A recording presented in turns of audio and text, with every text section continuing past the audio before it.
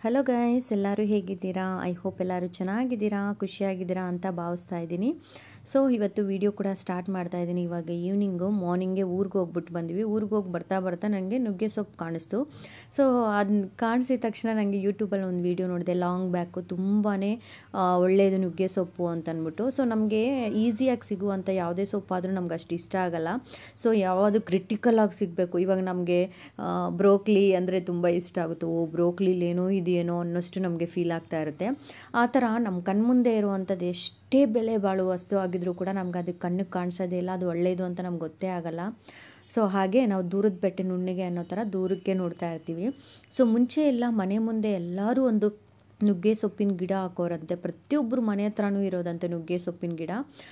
ಈಗ ನಾವು ಆಲೋವೆರಾನ ಹೆಂಗೆ ಬೆಳೆಸ್ತೀವಿ, ಅದೇ ರೀತಿ ನುಗ್ಗೆ ಸೊಪ್ಪಿನ ಗಿಡ ಬೆಳೆಸ್ತಾ ಇದ್ರು ಅನಿಸುತ್ತೆ. ಸೊ ನಾನು ಯೂಟ್ಯೂಬಲ್ಲಿ ನೋಡಿರೋ ಅಂತ ನನಗಿರೋ ಕೇಳಿಸ್ಕೊಂಡಿರೋ ಜ್ಞಾನದಿಂದ ನಾನು ನಿಮಗೆ ಹೇಳ್ತಾ ಇದ್ದೀನಿ. ಸೊ ತುಂಬಾ ಬೆನಿಫಿಟ್ ಬೆನಿಫಿಟ್ ಅಂತೆ ಆ್ಯಕ್ಚುಲಿ ಸೊ ನುಗ್ಗೆ ಸೊಪ್ಪು ತಿನ್ನೋದ್ರಿಂದ ಸೊ ನಾವು ಯಾಕೆ ತಿನ್ನಬಾರ್ದು ಅಂತ ಅಂದ್ಬಿಟ್ಟು ನಮಗೆ ಫ್ರೀಯಾಗಿ ಸಿಗುತ್ತೆ. ಊರಿಗೆ ಹೋದಾಗೆಲ್ಲ ತೊಗೊಂಡು ಬರ್ಬೋದು. ನಾವು ತರಲ್ಲ. ಯಾಕೆಂದರೆ ಬಿಡು, ಅದನ್ನೇನು ತಿನ್ನೋದು ಅನ್ನೋ ಥರ ನಾವು ಕೇರ್ಲೆಸ್ ಮಾಡ್ತಾ ಇರ್ತೀವಿ. ಸೊ ಅದಕ್ಕೆ ಈ ಸತಿ ಕೇರ್ಲೆಸ್ ಮಾಡಿದೆ ನಾನು ಕೂಡ ತೊಗೊಂಡು ಬಂದಿದ್ದೀನಿ. ಯಾಕೆಂದರೆ ನಾನು ವ್ಲಾಗ್ ಕೂಡ ಸ್ಟೇ ಶೇರ್ ಮಾಡಿಲ್ಲ ಮಾರ್ನಿಂಗ್ ಊರಿಗೆ ಹೋಗಿ ಬಂದಿದ್ದೆ. ಯಾಕಂದರೆ ಟೂ ಡೇಸಿಂದ ವ್ಲಾಗು ಹಳ್ಳಿದೆ ಊರದೇ ಹಾಕಿದ್ದೀನಿ ಟೂ ವ್ಲಾಗ್ಸಲ್ಲಿ ಸೊ ಮತ್ತು ನಿಮ್ಗೆ ಕೂಡ ಬೋರು ಕೂಡ ಆಗಬಾರ್ದಲ್ವ? ಅದಕ್ಕೋಸ್ಕರ ನಾನು ಈ ವ್ಲಾಗಲ್ಲಿ ಅದನ್ನು ಶೇರ್ ಮಾಡಿಲ್ಲ, ಹೋಗಿ ಬಂದಿರೋದನ್ನ. ಸೊ ಇವಾಗ ನುಗ್ಗೆ ಸೊಪ್ಪು ರೆಸಿಪಿನ ಶೇರ್ ಮಾಡ್ತೀನಿ. ತುಂಬ ಫಸ್ಟ್ ಟೈಮ್ ಅನಿಸುತ್ತೆ ನಾನು ಈ ನುಗ್ಗೆ ಸೊಪ್ಪು ರೆಸಿಪಿನ ಶೇರ್ ಮಾಡ್ತಿರೋದು. ಕೆಲವೊಂದು ಮಿಸ್ಟೇಕ್ ಕೂಡ ಮಾಡಿದ್ದೀನಿ ಅದನ್ನೇನು ಅಂತ ಕೂಡ ನಿಮಗೆ ವ್ಲಾಗಲ್ಲಿ ನೋಡ್ತಾ ಇರಿ, ಹೇಳ್ತಾ ಇರ್ತೀನಿ. ಈ ನುಗ್ಗೆ ಸೊಪ್ಪಿನ ಏನು ಮಿಸ್ಟೇಕ್ ಮಾಡಿದ್ದೀನಿ ಅಂತ ಅಂದ್ಬಿಟ್ಟು ಇದು ಒಂದು ದೊಡ್ಡ ಟಾಸ್ಕ್ ಥರ ಆಗುತ್ತೆ. ಏನಪ್ಪ ಅಂದರೆ ಇದನ್ನು ಬಿಡಿಸೋದೇ ಒಂದು ದೊಡ್ಡ ಟಾಸ್ಕು ಸೊ ನಿಮಗೆ ಈ ರೀತಿ ಬಿಡಿಸಿ ತಿಂದ್ರೇ ಟೇಸ್ಟು ಆಮೇಲೆ ಬಿಡು, ಅದೇ ಮುದ್ರೋಗುತ್ತಲ್ಲ, ನಾಳೆ ಅಷ್ಟರಲ್ಲಿ ನಾವು ಬಿಡಿಸೋ ಆಗಿಲ್ಲ ಅಂತ ಇಟ್ಟರೆ ಅಷ್ಟು ಟೇಸ್ಟ್ ಇರೋದಿಲ್ಲ. ಸೊ ಈಗ ಫ್ರೆಶ್ ಆಗಿದೆ, ನೋಡ್ತಿರ್ಬೋದು. ನಿಮಗೆ ಝೂಮ್ ಮಾಡಿ ಕೂಡ ತೋರಿಸ್ತಾ ಇದ್ದೀನಿ. ತುಂಬ ತುಂಬ ಫ್ರೆಶ್ ಆಗಿದೆ. ಆ ಗ್ರೀನ್ ನೋಡಿದ ತಕ್ಷಣವೇ ಏನಾದರೂ ಒಳ್ಳೆ ರೆಸಿಪಿ ಮಾಡ್ಕೊಂಡು ತಿನ್ನೋಣಪ್ಪ ಅನ್ನೋಷ್ಟು ಇಷ್ಟ ಆಗುತ್ತೆ. ಗ್ರೀನರಿ ಅಂದ್ರೇ ಹಾಗೆ ಕಣ್ಣಿಗೆ ತುಂಬಾ ತಂಪಾಗಿ ಇಷ್ಟ ಆಗುವಂಥ ಒಂದು ಕಲರು ಹಾಗೆ ಬರ್ತಾ ಬರ್ತಾ ಹುಣಸೆಕಾಯಿ ಕೂಡ ತೊಗೊಂಡು ಬಂದಿದ್ವಿ. ಹುಣಸೆಕಾಯಲ್ಲಿ ನೀವೇನು ಮಾಡ್ತೀರಾ ಅನ್ನೋದು ಖಂಡಿತ ನನಗೆ ಕಮೆಂಟ್ಸಲ್ಲಿ ಶೇರ್ ಮಾಡಿ. ನನಗೇನು ರೆಸಿಪಿನೂ ಗೊತ್ತಿಲ್ಲ ಹುಣಸೆಕಾಯಲ್ಲಿ. ನಾನು ಹುಣಸೆಕಾಯಲ್ಲಿ ಹುಣಸೆಕಾಯಿ ಚಿತ್ರಾನ್ನ ಮಾಡ್ತೀನಿ. ಹಸಿ ಹುಣಸೆಕಾಯಿ ಚಿತ್ರಾನ್ನ ತುಂಬ ಟೇಸ್ಟಿಯಾಗಿರುತ್ತೆ ಚಿತ್ರಾನ್ನ ಮಾಡ್ತೀನಿ. ಇಲ್ಲ ಅಂದರೆ ಹುಳಿಗೆ ಏನಾದರೂ ಯೂಸ್ ಮಾಡ್ಕೊತೀನಿ. ಸೊಪ್ಪು ಸಾರು ಮಾಡಬೇಕಾದ್ರೆ. ಈಗ ಇದಕ್ಕೂ ಕೂಡ ಸ್ವಲ್ಪ ಯೂಸ್ ಮಾಡ್ಕೊತೀನಿ. ಯಾಕಂದರೆ ಸೊಪ್ಪು ಸೊಪ್ಪು ಥರ ಮಾಡ್ತೀನಿ ಇವಾಗ. ದಾಲ್ ಥರ ನುಗ್ಗೆ ಸೊಪ್ಪಿನ ದಾಲ್ ಥರ ಮಾಡ್ತೀನಿ. ಒಂದೆರಡು ಬೇಳೆನ ಯೂಸ್ ಮಾಡಿಕೊಂಡು. ತುಂಬ ಸಿಂಪಲಾಗಿ ಈಸಿಯಾಗಿರುತ್ತೆ ಈ ಸಾರಲ್ಲಿ ನಾನು ಮಾಡಿರೋಂಥ ಒಂದು ಸ್ಮಾಲ್ ಮಿಸ್ಟೇಕ್ಸ್ ಇದೆ. ಆ ಮಿಸ್ಟೇಕ್ಸ್ನ ನೀವು ಖಂಡಿತ ರಿಪೀಟ್ ಮಾಡ್ಕೋಬೇಡಿ. ನಾನೇನು ಮಿಸ್ಟೇಕ್ ಮಾಡಿದೆ ಅಂತ ನಿಮ್ಮ ಜೊತೆ ಶೇರ್ ಮಾಡ್ತೀನಿ. ಸೊ ಫಸ್ಟ್ ಆಫ್ ಆಲ್ ನಾನು ಯಾವ ರೀತಿ ಮಾಡೋದು ಪ್ರೊಸೆಸ್ನ ಅನ್ನೋದು ನಿಮ್ಮ ಜೊತೆ ಶೇರ್ ಮಾಡ್ತೀನಿ. ಆ ಮಿಸ್ಟೇಕ್ಸ್ ನೀವು ಕೂಡ ಏನೇನು ಮಾಡಿದೆ ಅಂತಂದ್ಬಿಟ್ಟು ಮಾಡ್ತಾ ಮಾಡ್ತಾ ನಿಮ್ಮ ಜೊತೆ ಹೇಳ್ತೀನಿ. ಖಂಡಿತ ನೀವು ಕೂಡ ಮಿಸ್ಟೇಕ್ನ ರಿಪೀಟ್ ಮಾಡ್ಕೋಬೇಡಿ. ಫಸ್ಟು ಆಯಿಲ್ ಹಾಕ್ಕೊಂಡಿದ್ದೀನಿ ಆಯಿಲ್ ಹಾಕಿದ ತಕ್ಷಣ ಒನ್ ಮೆಣಸಿನ್ಕಾಯಿ ನಾವು ಆಲ್ರೆಡಿ ಹೊಸ, ಹಸಿ ಮೆಣಸಿನ್ಕಾಯಿ ಯೂಸ್ ಮಾಡೋದು ಆಲ್ರೆಡಿ ತ್ರೀ ಮಂತ್ಸ್ ಆಯ್ತೇನೋ ಗೈಸ್ ಗಂಗಾವ್ರಿಗೆ ಹೆಲ್ತ್ ಪ್ರಾಬ್ಲಮ್ ಬಂದ, ಅಂದರೆ ಗ್ಯಾಸ್ಟ್ರಿಕ್ ಪ್ರಾಬ್ಲಮ್ ಜಾಸ್ತಿ ಆಗಿ ಹಾಸ್ಪಿಟ್ಲಿಗೆ ಹೋಗಿ ಬಂದಾಗಿಂದ ನಾನು ಬಿಟ್ಬಿಟ್ಟಿದ್ದೀನಿ. ಅದನ್ನು ಹಸಿಮೆಣ್ಸಿನ್ಕಾಯಿ ತಂದಿರೋ ಟೆನ್ ರುಪೀಸ್ಗೆ ತಂದಿರೋ ಹಸಿಮೆಣ್ಸಿನ್ಕಾಯಿ ಇನ್ನೂ ಇದೆ ನಮ್ಮ ಮನೆಯಲ್ಲಿ. ಅದನ್ನು ನಾನು ಬಳಸೋದನ್ನೇ ಬಿಟ್ಬಿಟ್ಟಿದ್ದೀನಿ. ಇವಾಗ ವೆರಿ ಮಚ್ ಗ್ರೇಟ್ ಅಂತಲೇ ಹೇಳ್ಬೋದು ಅವರು ಗಂಗಾ ಅವರು. ತುಂಬಾ ಹೀಲ್ ಆಗಿದ್ದಾರೆ. ಗ್ಯಾಸ್ಟಿಕ್ಕಿಂದ. ಅದರಿಂದನೇ ಆಗ್ತಿತ್ತು ಅಂತಲ್ಲ ಕೆಲವು ಬೇರೆ ಬೇರೆ ಇದರಿಂದನೂ ಕೂಡ ಆಗಿರ್ಬೋದು. ಸೊ ಇವಾಗ ಕಮ್ಮಿಂಗ್ ಬ್ಯಾಕ್ ಟು ರೆಸಿಪಿ ಇವಾಗ ಹಸಿಮೆಣ್ಸಿನ್ಕಾಯಿ, ಬೆಳ್ಳುಳ್ಳಿ, ಒಣಮೆಣ್ಸಿನ್ಕಾಯಿ ಸಾರಿ ಬೆಳ್ಳುಳ್ಳಿ, ಸ್ವಲ್ಪ ಹೆಸರುಬೇಳೆ, ಆಮೇಲೆ ಸ್ವಲ್ಪ ತೊಗರಿಬೇಳೆ ಎರಡನ್ನೂ ಕೂಡ ಹಾಕೊತಾ ಇದ್ದೀನಿ. ಹೆಸರುಬೇಳೆ ಜಾಸ್ತಿ ಹಾಕಿದ್ದೀನಿ, ತೊಗರಿಬೇಳೆ ಕಮ್ಮಿ ಹಾಕಿದ್ದೀನಿ. ಒಂದೇ ಒಂದು ಟೊಮೊಟೊ ಹಾಕಿದ್ದೀನಿ. ಟೇಸ್ಟ್ಗೆ ಸೊ ಸ್ವಲ್ಪ ಹುಣಸೆ ಹಣ್ಣು ಕೂಡ ಹಾಕಿದ್ದೆ, ಹಸಿ ಹುಣಸೆ ಹಣ್ಣನ್ನ ಅದು ಕೂಡ ತುಂಬ ಚೆನ್ನಾಗಿರುತ್ತೆ ಟೇಸ್ಟು ಸೊ ಅದೊಂದು ಅರಿಶಿನ ಹಾಕ್ಬಿಟ್ಟು ನಾನು ಮಿಸ್ಟೇಕ್ ಮಾಡಿದ್ದು ಒಂದು ಬಂದ್ಬಿಟ್ಟು ಸೊಪ್ಪು ಜಾಸ್ತಿ ಹಾಕ್ಬಿಟ್ಟಿದ್ದೀನಿ, ಬೇಳೆ ಕಮ್ಮಿ ಹಾಕಿದ್ದೀನಿ. ಅದು ನಮ್ಮ ನನಗೆ ಗೊತ್ತಿರುವಂಥ ಫಸ್ಟ್ ಮಿಸ್ಟೇಕು ಫಸ್ಟ್ ಮಿಸ್ಟೇಕ್ ಅಲ್ಲಿದೆ ಅದನ್ನ ಏನು ಮಾಡ್ತೀರಾ ಅಂದರೆ ನೀವು ಬೇಳೆನ ಜಾಸ್ತಿ ಹಾಕ್ಕೊಳ್ಳಿ, ಸೊಪ್ಪು ಜಾಸ್ತಿ ಆಗಿದ್ದರೆ ನಾನು ತುಂಬ ಕಮ್ಮಿ ಹಾಕ್ತೆ ಬೇಳೆನ, ಅದರಿಂದ ಕಮ್ಮಿ ಆಯಿತು. ನೆಕ್ಸ್ಟು ನುಗ್ಗೆ ಸೊಪ್ಪನ್ನ ಫ್ರೈ ಮಾಡಿದೆ, ಸ್ವಲ್ಪ ಡಿಫ್ರೆಂಟ್ ಆಗಿರಲಿ, ನೋಡೋಣ ಅಂತ ಅಂದ್ಬಿಟ್ಟು ಸೊ ಹಸಿ ಹಸಿದು ಮಾಡಿದಾಗ ತುಂಬ ಟೇಸ್ಟಿಯಾಗಿತ್ತು ಫ್ರೈ ಮಾಡಿ, ಮಾಡೋಣ ಅಂತ ಅಂದ್ಬಿಟ್ಟು ಮಾಡಿದ್ನಲ್ಲ, ಆ ಟೇಸ್ಟ್ ಏನಾಯಿತು? ಅದು ಕಹಿ ಆಗಿದ್ದು ಕನ್ವರ್ಟ್ ಆಯಿತು. ಸೊ ಕಹಿ ಅಂದರೆ ಸೆನ್ಸ್ ಸ್ವಲ್ಪ ಒಗ್ರೊಗ್ರು ಥರ ಕನ್ವರ್ಟ್ ಆಯಿತು.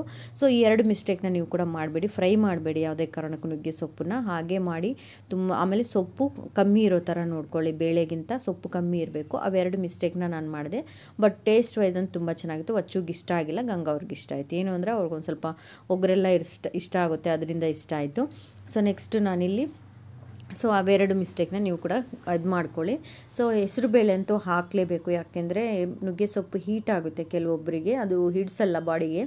ಆದ್ದರಿಂದ ಹೆಸರು ಬೇಳೆ ಹಾಕ್ಕೊಂಡು ಸ್ವಲ್ಪ ತಂಪಾಗುತ್ತೆ ಅನ್ನೋ ರೀಸನಿಂದ ನೆಕ್ಸ್ಟು ಸಾರನ್ನ ಕೂಗಕ್ಕೆ ಇಟ್ಬಿಟ್ಟು ಟು ವಿಸಿಲ್ ಮಾಡ್ಕೊತೀನಿ. ಅಷ್ಟರಲ್ಲಿ ನಾನಿಲ್ಲಿ ಸೊಪ್ಪು, ಎಗ್ ಹಾಕ್ಬಿಟ್ಟು ಪಲ್ಯ ಮಾಡ್ತಾಯಿದ್ದೀನಿ ಇದು ಸೊಪ್ಪನ್ನ ನನಗೆ ಚಿಲ್ಕರ್ವೆ ಸೊಪ್ಪು ಅಂತಾರಲ್ಲ ಅದು ತಂದಿದ್ದೀನಿ. ಎಗ್ ಹಾಕ್ಬಿಟ್ಟು ಮಾಡಿದ್ರೆ ತುಂಬ ಚೆನ್ನಾಗಿರುತ್ತೆ ಗೈಸ್ ಒಂದು ಸತಿ ಟ್ರೈ ಮಾಡಿ, ಮಾಡಿಲ್ಲ ಅಂತಂದರೆ ನಾನಿವಾಗ ಕನ್ ಬೀನ್ಸ್ ಮಾಡಿದ್ರೆ ಬೀನ್ಸ್ ಸಾಂಬಾರು ಮಾಡಿ ಪಲ್ಯ ಮಾಡ್ತೀನಿ. ಬೆಂಡೆಕಾಯಿ ಸಾರು ಮಾಡಿ ಪಲ್ಯ ಮಾಡ್ತೀನಿ. ಆ ರೀತಿ ಮಾಡೋಣ ಅಂತ ಅಂದ್ಕೊಂಡಿದ್ದೀನಿ ಅದಕ್ಕೆ ಇವತ್ತು ಮಾಡಿರೋಂಥ ನುಗ್ಗೆ ಸೊಪ್ಪು ಬಂದಿದ ತಕ್ಷಣವೇ ಗಂಗಾವ್ರಿಗೆ ನುಗ್ಗೆ ಸೊಪ್ಪು ಆಮ್ಲೆಟ್ ಮಾಡಿಕೊಟ್ಬಿಟ್ಟಿದೆ. ಸೊ ಈಗ ಈಗ ನೈಟ್ ರೆಸಿಪಿನ ನಾನು ನಿಮ್ಮ ಜೊತೆ ಶೇರ್ ಮಾಡ್ತಿರೋದು ಡಿನ್ನರ್ಗೆ ಸೊ ಸೊಪ್ಪಲ್ಲಿ ನೀರೆಲ್ಲ ಹೋಗಬೇಕು. ನೀರೆಲ್ಲ ಫುಲ್ಲು ಹೋಗ್ಬಿಡ್ಬೇಕು. ಅದಾದಮೇಲೆ ನಾನು ಎಗ್ಗನ್ನ ಹಾಕ್ತಾಯಿದ್ದೀನಿ ನಾಲ್ಕು ಎಗ್ ಆಗೋಣ ಅಂತಂದರೆ ಒಂದು ಎಗ್ಗು ಟಪ್ ಅಂತ ಕೆಳಗಡೆ ಬಿದ್ದಿದ್ದು.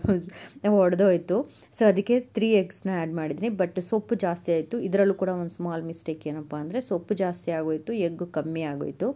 ಅದರಿಂದ ಕೆಲವೊಂದು ನೋಡಿಕೊಂಡು ಮಾಡಿಕೊಂಡ್ರೆ ತುಂಬ ಟೇಸ್ಟಿಯಾಗಿರುತ್ತೆ ಟೇಸ್ಟ್ ವೈಸ್ ಏನು ಚೆನ್ನಾಗಿತ್ತು? ಇದರಲ್ಲೇನು ಅಂದರೆ ಇನ್ನೊಂದು ಮಿಸ್ಟೇಕ್ ಮಾಡಿದೆ ಉಪ್ಪು ಕೂಡ ಸ್ವಲ್ಪ ಜಾಸ್ತಿ ಹಾಕ್ಬಿಟ್ಟಿದೆ ಸೊಪ್ಪು ಮಾಡ್ತಿರೋ, ಸೊಪ್ಪಲ್ಲಿ ಮಾಡ್ತಿರೋಂಥ ಯಾವುದೇ ರೆಸಿಪಿ ಆಗಿದ್ರೂ ಕೂಡ ಉಪ್ಪು, ಖಾರ ಕಮ್ಮಿ ಹಿಡಿಯುತ್ತೆ. ತುಂಬ ಕಮ್ಮಿ ಹಿಡಿಯುತ್ತೆ. ಸೊ ನಾವು ನೋಡಿಕೊಂಡು ಹಾಕ್ಕೋಬೇಕು. ಸೊ ಉಪ್ಪು ಒಂದು ಸ್ವಲ್ಪ ಜಾಸ್ತಿ ಆಯಿತು ಅಂತಲೇ ಅನಿಸ್ ಅನ್ನಿಸ್ತು ಇವರಿಬ್ಬರು ಅಂದರು. ಸೊ ನಾನು ಇದನ್ನು ಕೂಡ ತಿಂದಿಲ್ಲ. ನನಗೆ ಹೆವಿ ಅನ್ನಿಸ್ತಾ ಇತ್ತು. ಕುಕುಂಬರ್ ಮತ್ತು ಕ್ಯಾರೆಟ್ ತಿಂದು ತುಂಬಾ ಹೆವಿ ಅನ್ನಿಸ್ತು ಅದಕ್ಕೆ ನಾನು ಇದನ್ನು ಕೂಡ ತಿಂದಿಲ್ಲ. ಸೊಪ್ಪು ಜಾಸ್ತಿ ಆಯಿತು ಅನಿಸು. ಇನ್ನೊಂದು ಎಗ್ ಅದು ಒಡೆದಿಲ್ಲ ಅಂದಿದ್ರೆ ಹಾಕ್ಕೊಂಡಿದ್ರೆ ಅದನ್ನು ಪರ್ಫೆಕ್ಟಾಗಿ ಕನ್ಸಿಸ್ಟೆನ್ಸಿ ತುಂಬ ಚೆನ್ನಾಗಾಗಿರೋದು. ಸೊ ನಾನು ಎಗ್ಗು ಫ್ರೈ ಮಾಡೋಷ್ಟರಲ್ಲಿ ರೈಸ್ ಕೂಡ ಆಗೋಯ್ತು. ಅದನ್ನು ಚೆನ್ನಾಗಿ ಸ್ಟ್ರೈನ್ ಮಾಡಿ ಅದು ಕೂಡ ಇಟ್ಬಿಟ್ಟಿದ್ದೀನಿ. ಸೊ ನೋಡ್ಬೋದು ಎಗ್ ಫ್ರೈ ಅಂತೂ ರೆಡಿ ಆಗ್ತಾ ಇದೆ. ಸೊ ಅದು ವಿಸಿಲ್ ಹೋಗೋಷ್ಟರಲ್ಲಿ ನನಗೆ ಸಾಲ್ಟ್ ಹಾಕಿದ್ನಲ್ಲ, ಇದೇ ಎಕ್ಸ್ಟ್ರಾ ಸಾಲ್ಟ್ ಆಯ್ತೇನೋ ಅನ್ನೋಷ್ಟು ನನಗೆ ಫೀಲ್ ಆಯಿತು. ಸೊ ಇವತ್ತಿನ ರೆಸಿಪಿಲಿ ಜಾಸ್ತಿ ಮಿಸ್ಟೇಕ್ಸೇ ಆಯಿತು. ಕೆಲವೊಂದು ಸತಿ ಆಗುತ್ತೆ. ಏನೂ ಮಾಡೋಕ್ಕಾಗಲ್ಲ. ಅಡ್ಜಸ್ಟ್ಮೆಂಟ್ ಮಾಡ್ಕೊಂಡು ಹೋಗೋದೇ ಜೀವನ ಅಲ್ವಾ? ಹಾಗೆ ನನ್ನ ಈ ನುಗ್ಗೆ ಸೊಪ್ಪು ಎಲ್ಲಿ ಸಿಕ್ಕಿದ್ರೂ ಕೂಡ ಖಂಡಿತ ತಿನ್ನಿ ವೀಕ್ಲಿ ಒನ್ಸ್ ಆದರೂ ತಿನ್ನಿ, ನಿಮಗೆ ಬಾಡಿಗೆ ಇಮ್ಯುನಿಟಿ ಬ ಬೂಸ್ಟ್ ಮಾಡುತ್ತಂತೆ. ಹಾಗೆ ಮೂಳೆಗಳಿಗೆ ತುಂಬಾ ಒಳ್ಳೆ ಶಕ್ತಿ ಇರುತ್ತಂತೆ. ತುಂಬಾ ನಮಗೆ ಯಾವುದೇ ಮೈಕೈ ನೋವು, ಸುಸ್ತು ಅದೆಲ್ಲ ಬರೋದಿಲ್ವಂತೆ. ಅದಕ್ಕೋಸ್ಕರನಾದರೂ ಸೊಪ್ಪನ್ನು ಜಾಸ್ತಿ ಬಳಸಿ, ಅದೇ ನುಗ್ಗೆ ಸೊಪ್ಪು ತುಂಬ ಕಮ್ಮಿ ಬೆಳೆಗೆ ಸಿಗುತ್ತೆ. ಯಾವಾಗಲೂ ಸಿಗುತ್ತೆ, ನಿಮ್ಗೆ ಸಿಕ್ ಇತ್ತು ಅಂತಂದರೆ ಖಂಡಿತ ಅದನ್ನು ಮಿಸ್ ಮಾಡ್ಕೊಬೇಡಿ. ನೀವು ಕೂಡ ತಿನ್ನಿ ಹೆಲ್ದಿಯಾಗಿರಿ ಹ್ಯಾಪಿ ಲೈಫ್ನ ಲೀಡ್ ಮಾಡಿ. ಸೊ ನೆಕ್ಸ್ಟ್ ಇಲ್ಲಿ ನುಗ್ಗೆ ಸೊಪ್ಪನ್ನ ನೀರು, ಬಸ್, ಇದನ್ನ ಚೆನ್ನಾಗಿ ಮಸ್ಕೋಬೇಕು. ಸೊ ನಾನು ಫ್ರೈ ಮಾಡಿಲ್ಲ ಅಂದರೆ ಸಾರಂತೂ ಅಲ್ಟಿಮೇಟಾಗಿ ಬಂದಿರೋದು. ನಾನು ಫ್ರೈ ಮಾಡಿದ್ರಿಂದ ಏನೋ ವೆರೈಟಿ ಮಾಡೋಣ ಅಂತ ಹೋಗ್ತೀವಲ್ಲ ಎವ್ರಿ ಡೇ ಒಂದೇ ಥರ ಮಾಡ್ತಿರ್ತೀನಲ್ಲ ಅಂತ ಅಂದ್ಬಿಟ್ಟು ಕೆಲವೊಂದು ಸತಿ ಒಂದು ಸ್ವಲ್ಪ ಡಿಫ್ರೆಂಟಾಗಿ ಮಾಡೋಣ ಅಂತ ಹೋಗಿ ಈ ರೀತಿ ಆಗಿದೆ. ಸೊ ಆ ಮಿಸ್ಟೇಕ್ನ ನೀವು ಮಾಡೋಕ್ಕೆ ಹೋಗಬೇಡಿ. ಸೊ ನಾವೇನು ಮಾಡ್ತೀವಿ ನಮ್ಮ ಮನೆಯಲ್ಲಿ ನುಗ್ಗೆ ಸೊಪ್ಪು, ಈರುಳ್ಳಿ, ಬೆಳ್ಳುಳ್ಳಿ, ನುಗ್ಗೆ ಸೊಪ್ಪು ಹಾಕ್ಬಿಟ್ಟು ಚೆನ್ನಾಗಿ ಫ್ರೈ ಮಾಡಿ ಆಯಲಲ್ಲೇ ಸ್ವಲ್ಪ ಕಡಲೆ ಬೀಜದ ಪೌಡರು ಖಾರದ ಪುಡಿ ಹಾಕ್ಬಿಟ್ರೆ ಎಷ್ಟು ಚೆನ್ನಾಗಿ ತಿಂತಿದ್ವಿ ಅದು ಗೊತ್ತಾಗೈಸ್ ನಮ್ಮ ಆಂಧ್ರ ಕಡೆ ತುಂಬ ಚೆನ್ನಾಗಿ ಅದೇ ರೀತಿ ಮಾಡ್ತಾರೆ. ನಿಮಗೆ ನಾನೊಂದು ಸ್ವಲ್ಪ ಮಸ್ಕೊಂಡಿದ್ದೀನಿ ಒಂದು ಸ್ವಲ್ಪ ಸ್ವಲ್ಪ ನುಣ್ಣಗೆ ಮಸ್ತಿದ್ದೀನಿ ಎಷ್ಟೇ ನುಣ್ಣಗೆ ಮಸ್ತ್ರೂ ನುಗ್ಗೆ ಸೊಪ್ಪು ಅಷ್ಟೊಂದೇನು ಸಾಫ್ಟ್ ಆಗೋದಿಲ್ಲ ಅದು. ಸೊ ಎಷ್ಟಾಗುತ್ತೋ ಅಷ್ಟು. ನೋಡೋದಕ್ಕೆ ಮಾತ್ರ ತುಂಬ ಚೆನ್ನಾಗಿತ್ತು ಸಾರು. ಸೊ ತಿನ್ನೋಕೆ ಬೇಕಾದರೆ ಒಂದು ಸ್ವಲ್ಪ ಒಗ್ರೊಗ್ರಾಗಿತ್ತು. ಮೋಸ್ಟ್ಲಿ ಫ್ರೈ ಮಾಡಿದ್ರಿಂದಾನೇ ಅನ್ನೋದು ನನ್ನ ಭಾವನೆ. ನಿಮ್ಗೇನು ಬಂದಿರ್ಬೋದು, ಅದು, ಅದರ ತತ್ವಾನೇ ಇರ್ಬೋದು, ಬಟ್ ನಾನು ಜಾಸ್ತಿ ಫ್ರೈ ಮಾಡಿದ್ರಿಂದ, ಮುಚ್ಚಿ ಬೇಯಿಸಿದ್ರಿಂದ ಕೂಡ ಕೆಲವೊಂದು ಸತಿ ಆ ರೀತಿ ಆಗ್ಬೋದು. ಸೊ ನಾನು ಇವಾಗ ಒಗ್ಗರಣೆ ಕೊಡ್ತಾಯಿದ್ದೀನಿ ಸೊ ನಮ್ಮ ಮನೇಲಿ ಏನಂದರೆ ಒಂದು ಸತಿಗೆ ಒಂದೇ ಸಾರು ತಿಂತಾರೆ. ಸೊ ಮಧ್ಯಾಹ್ನ ಒಂದು ಸಾರು ನೈಟ್ ಒಂದು ಸಾರು. ಅದರಿಂದ ಸ್ವಲ್ಪ ಕ್ವಾಂಟಿಟಿ ಕಮ್ಮಿನೇ ಮಾಡ್ತೀನಿ ನಾನು. ಈಗ ನಾನು ಊಟ ಮಾಡದೇ ಇರೋದ್ರಿಂದ ಸ್ವಲ್ಪ ಕಮ್ಮಿನೇ ಮಾಡಬೇಕು ಇಬ್ಬರಿಗೆ ಅವರಿಬ್ಬರಿಗೆ ಅದರಿಂದ ಒಗ್ಗರಣೆ ಹಾಕೋತಾ ಇದ್ದೀನಿ. ಒಂದು ಮೆಣಸಿನ್ಕಾಯಿ ಸಿಂಪಲ್ ಒಗ್ಗರಣೆ ನಿಮ್ಗೆ ಬೇಕು ಅಂತಂದರೆ ಜೀರಿಗೆನ ಹಾಕೊಳ್ಳಿ. ನನಗೆ ಅದು ಡ್ಯಾಮಿನೇಟ್ ಮಾಡುತ್ತೆ ಸ್ಮೆಲ್ಲು ಅದರಿಂದ ನಾನು ಹಾಕೋದಿಲ್ಲ. ಸೊ ಈರುಳ್ಳಿ ಈರುಳ್ಳಿ ಜೊತೆಗೆ ಇದು ಬೆಳ್ಳುಳ್ಳಿ ಒಗ್ಗರಣೆ ತುಂಬ ಚೆನ್ನಾಗಿರುತ್ತೆ. ಇದು ನುಗ್ಗೆ ಸೊಪ್ಪಿಗೆ ತುಂಬಾ ಚೆನ್ನಾಗಿರುತ್ತೆ. ಬೆಳ್ಳುಳ್ಳಿ ಒಗ್ಗರಣೆ, ಬೆಳ್ಳುಳ್ಳಿನ ಕೂಡ ತಿನ್ನಿ. ಹೆಲ್ದಿಯಾಗಿರಿ ಫ್ಯಾಟ್ ಲೆಸ್ ಆಗಿರ್ತೀರ ಬೆಳ್ಳುಳ್ಳಿ ತಿನ್ನೋದ್ರಿಂದ. ಸೊ ನಾವೇನು ಮಾಡ್ತೀವಿ? ಕರ್ಬೇವಿನ ಸೊಪ್ಪು ಅದನ್ನ ಬೆಳ್ಳುಳ್ಳಿ, ಅದನ್ನೇನೇ ಬಂದರೂ ಅದನ್ನು ಸೈಡ್ಗೆ ಇಟ್ಬಿಟ್ಟು ಬರೀ ರೈಸು ಸಾರು ಮಾತ್ರ ವೇಸ್ಟ್ ತಿಂತಾ ಇರ್ತೀವಿ. ಯೂಸ್ಫುಲ್ ಆಗಿರೋದನ್ನ ಏನೂ ತಿನ್ನಲ್ಲ. ಸೊ ಬೆಳ್ಳುಳ್ಳಿ ಕೂಡ ಅದ್ರ ಜೊತೆಗೆ ನೆಂಚ್ಕೊಂಡು ತಿಂದರೆ ಇನ್ನು ಯಮ್ಮಿ ಆಗಿರುತ್ತೆ. ಸೊ ಸಾರಂತೂ ಕುದಿ, ಕುದೀತಾ ಇದೆ. ಕುದೀತಾ ಇರೋಷ್ಟರಲ್ಲಿ ಸ್ವಲ್ಪ ಫ್ರೈ ಆದಮೇಲೆ ನಾವಿವಾಗ ಒಗ್ಗರಣೆನ ಸಾರಿಗೆ ಹಾಕ್ಬಿಡೋಣ ಈಗ. ಸೊ ಕುದೀತಾ ಇರುವಂಥ ಸಾರಿಗೆ, ನಾವು ಫ್ರೈ ಮಾಡಿರುವಂಥ ಒಗ್ಗರಣೆನ ಹಾಕ್ಬಿಟ್ರೆ ಫೈನಲ್ ಆಗಿ ನಮ್ಮ ಎಮ್ಮಿ ಎಮ್ಮಿ ಆಗಿರುವಂಥ ನುಗ್ಗೆ ಸೊಪ್ಪಿನ ದಾಲ್ ಅನ್ಬೋದು ಅದನ್ನು ರೆಡಿ ಆಗುತ್ತೆ. ಸೊ ನೋಡಿ ನೀವು ನೋಡಿದ ತಕ್ಷಣ ಗೊತ್ತಾಗ್ಬಿಡುತ್ತೆ ನಮ್ಗೆ ಸೊಪ್ಪು ಜಾಸ್ತಿ ಆಗಿದೆ ಅಂತ ಅಂದ್ಬಿಟ್ಟು ಬಟ್ ಚೆನ್ನಾಗಿರುತ್ತೆ ಅಂತ ಹಾಕ್ಬಿಟ್ಟೆ. ಮೇಯ್ನ್ಲಿ ನನಗೆ ಫಸ್ಟ್ ನಂಬರ್ ಒನ್ ಮಿಸ್ಟೇಕ್ ಆಗಿದ್ದು ಅಂತಂದರೆ ಸೊಪ್ಪು ಜಾಸ್ತಿ ಹಾಕ್ಬಿಟ್ಟೆ, ಬೇಳೆ ಕಮ್ಮಿ ಆಯಿತು, ಅದರಿಂದನೇ ಸಾರು ಒಂದು ಸ್ವಲ್ಪ ಕೆಟ್ಟೋಯ್ತು ಅಂತ ನನ್ನ ಭಾವನೆ.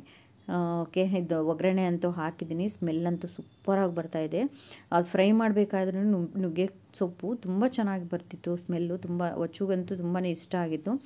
ಇದಾದಮೇಲೆ ನಾನು ಸ್ವಲ್ಪ ಒಗ್ಗರಣೆ ಹಾಕಾದಮೇಲೆ ಸ್ವಲ್ಪ ಸಿಮ್ಗಿಟ್ಬಿಟ್ಟು ಕುದಿಸ್ಕೊಂಡು ಆಫ್ ಮಾಡಿದೆ. ಒಚ್ಚು ಬಂದು ನೋಡಿ ಏನೋ ಎತ್ಕೊತಿದ್ದಾಳೆ. ನಾನಿವಾಗ ಪಾತ್ರೆ ತೊಳೆದಿದ್ದೆ. ಅಡುಗೆ ಮಾಡ್ತಾ ಮಾಡ್ತಾನೆ ನಾನು ಪಾತ್ರೆ ಕೂಡ ವಾಶ್ ಮಾಡ್ಕೊಂಡು ಬಿಡ್ತೀನಿ. ಸೊ ಅದನ್ನು ಸ್ವಲ್ಪ ಡ್ರೈ ಆಗಿತ್ತು. ಡ್ರೈ ಆದಮೇಲೆ ನಾನು ಅದರ ಪ್ಲೇಸ್ಗೆ ಪ್ಲೇಸ್ ಮಾಡ್ತೀನಿ. ಸೊ ಅದನ್ನು ಪ್ಲೇಸ್ ಮಾಡ್ತಾ ಇದ್ದೀನಿ. ನಾನು ಮತ್ತೆ ಬೆಳಗ್ಗೆ ಎದ್ದು ಅದನ್ನು ಪ್ಲೇಸ್ ಮಾಡೋಷ್ಟರಲ್ಲಿ. ಆಮೇಲೆ ಪಾತ್ರೆ ಇದ್ದರೂ ನನಗೆ ತೊಳೆಯೋಕ್ಕೆ ಈ ಈ ರ್ಯಾಕಲ್ಲಿ ಪಾತ್ರೆ ರ್ಯಾಕಲ್ಲಿ ಪಾತ್ರೆ ಇದ್ದರೆ ನನಗೆ ಅಷ್ಟು ತೊಳೆಯೋಕ್ಕೆ ಇಷ್ಟ ಆಗಲ್ಲ. ಸೊ ಅದರಿಂದ ಎಲ್ಲ ಕ್ಲಿಯರ್ ಮಾಡಿದೆ. ಕ್ಲಿಯರ್ ಮಾಡಿದ್ಮೇಲೆ ಇವತ್ತಿನ ಡಿನ್ನರ್ ರೆಸಿಪಿ ಬಂದು ರೈಸ್ ಬಿಸಿ ರೈಸ್ ಮಾಡಿದ್ದೀನಿ.